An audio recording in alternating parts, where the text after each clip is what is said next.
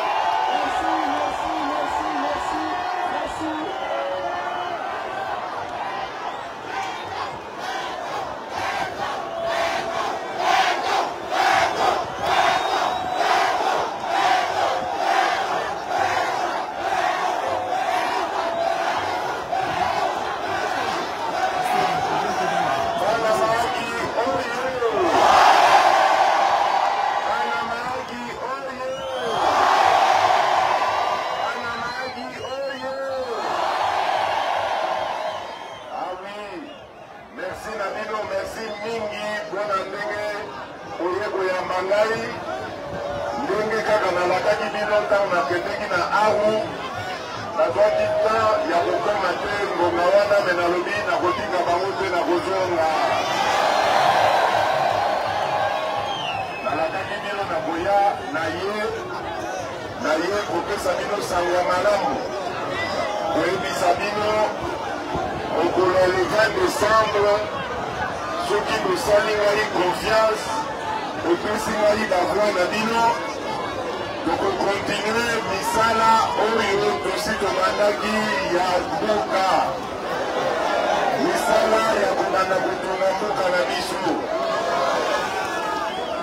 Susi ya liboso ndenge boyebi na mboka na biso, susi ya liboso toza nango ezali nano ya sekurite. Po soki kimia ezali te, moyen misala etambola ekozala te. Yango wana oyokaki ntango banyangalakata babandaki bitumba kuna na este Ntango Banyanganyakata babotoli biso mpo na babanda kobomela biso bandeko na biso, nalobaki bana mboka bokota na arme topesa bino makoki bonyatela biso bobenganela biso banyangalakata wana likambo ya mibale ezali oyo etali developema oyo ya mboka na biso developema ya mboka na biso Mpo ekende malamu, esengeli mwana mboka Congo azala na bakondisio ya malamu, boye te? Yango wana bomoni tobandaki na likambo oyo tobengi gratuite ya enseignement primaire. Soki bosali ngai confiance Bopesi nga ba voix na bino tokomata gratuite gratuite ekomata ekokota mpe na secondaire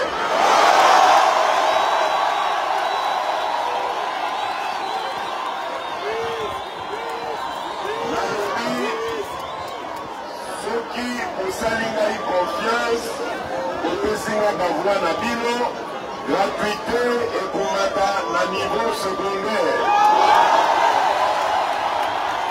Po esengeli mwana mboka Congo azala na bakondition ya malamu mpo asalisa biso bakonzi totonga mboka na biso likambo mosusu oyo tobandaki deja oyo naza koloba soki kosalinga confiance tokokontinue ezali likambo oyo etali couverture santé universelle elakisi te mwana kongo nyonso kongolaise kongolais nyonso Azala na mbongo, azala na mbongo te, soki azwi bokono akokoka kokende na centre de sante oyo alingi bapesi ye basoin ofele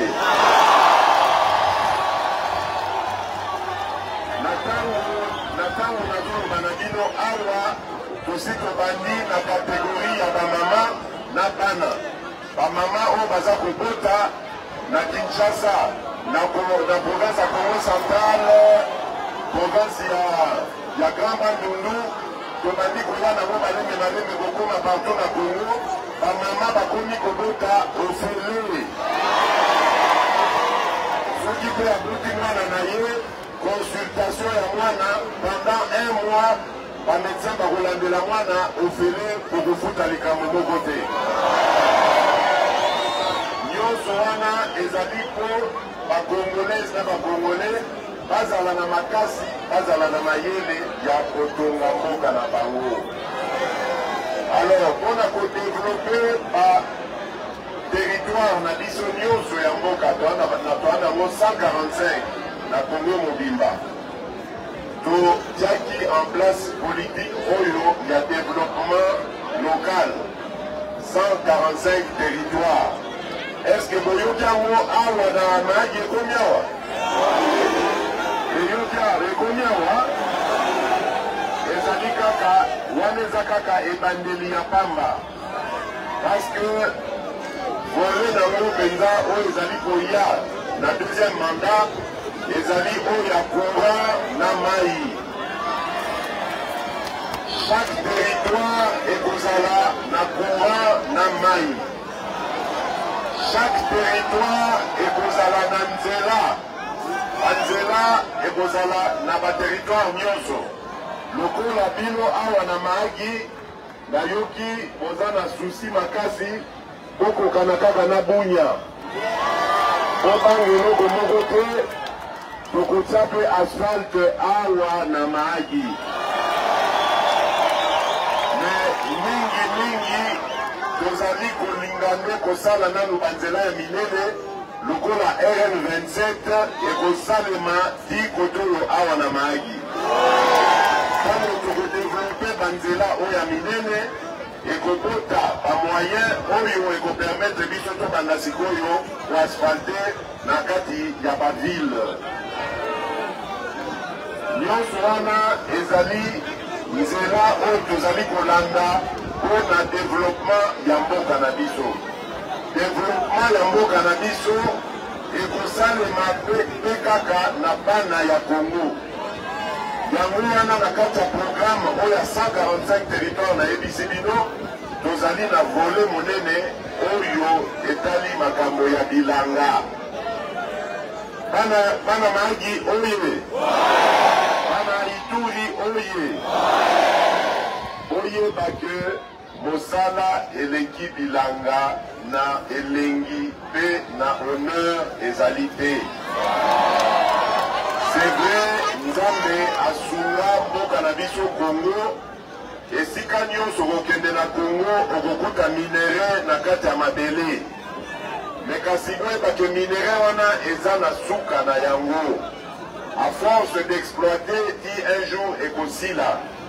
Tokoki ko base makasi na biso ekonomi na biso kaka na minere te ya solo minere ebongi tosalela yango ntango ezali na esengeli mpe tokanisa bageneratio na bageneratio ya bakoko bakoko loko na biso oyo bakokontinue kokamba mboka oyo ya kongo Yango wana mpo na bongo esengeli kodevelope agriculture kote wana mpe Nzambe apambola Congo.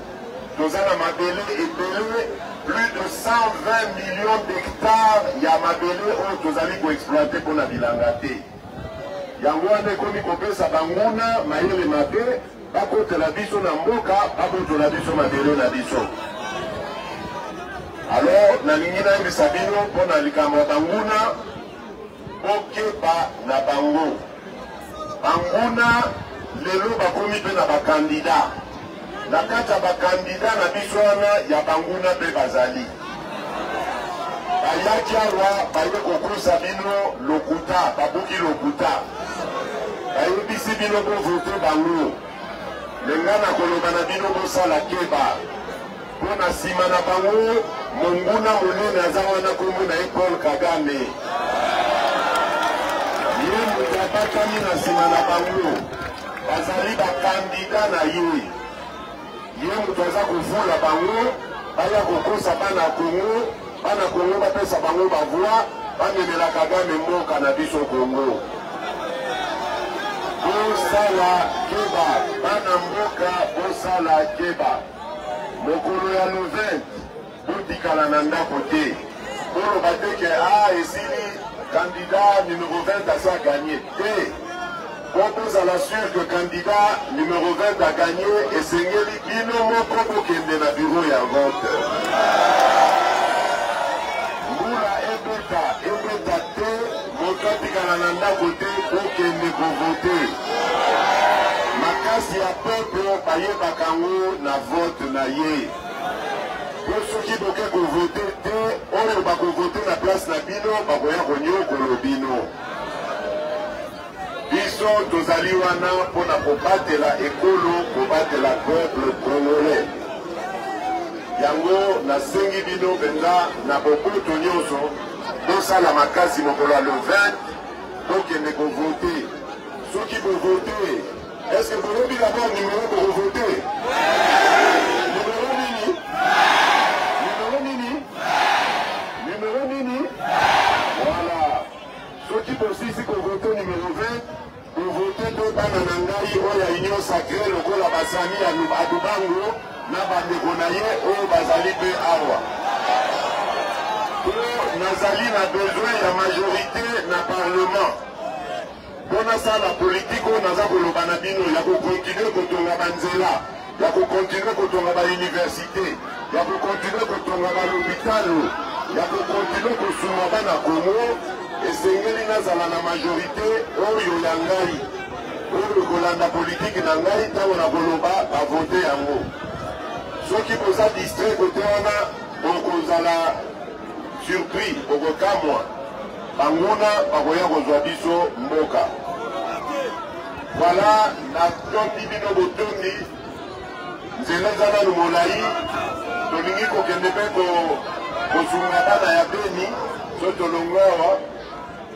En tout cas, napesi bino merci, nalaki bino nsima ya vote nakozonga lisusu nakosala tour ya Congo bisika nyonso naleki naya kopesa bana mboka merci na ndenge ya confiance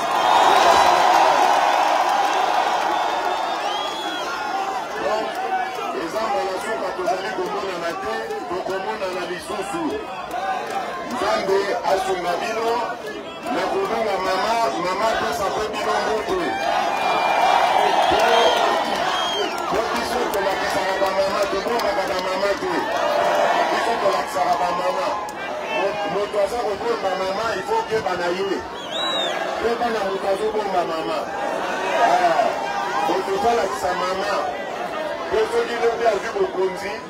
Bana baye ba mama na bango, n'est-ce pas?